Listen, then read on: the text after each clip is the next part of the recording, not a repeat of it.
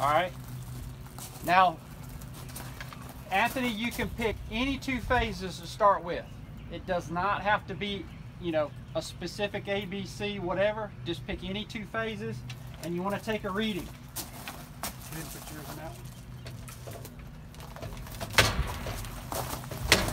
This is not going to be this is not going to be a true RMS reading now. Okay?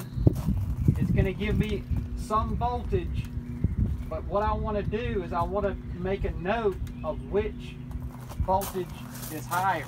In other words, the meter probe being in this phase, is it higher than if I swap it with Parker like I'm about to do right here? So it's 15.4.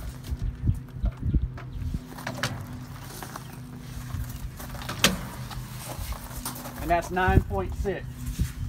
All right? Oh, yeah, yeah. Okay. So whichever one was higher is the leading phase. Okay? It's that simple. Gotcha. All right? So that So let's it identifies that secondary for you. That's the point of it. Now what it does is it actually de- identifies the sequence right here.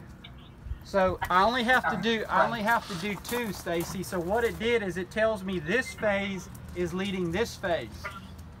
So now I know my sequence because this phase is leading this phase, this phase is leading this phase, so and so forth. So the sequence is bottom to top.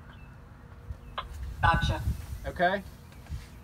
So since we do have these cables identified with tape and we actually call this ABC, we know the sequence is actually CBA.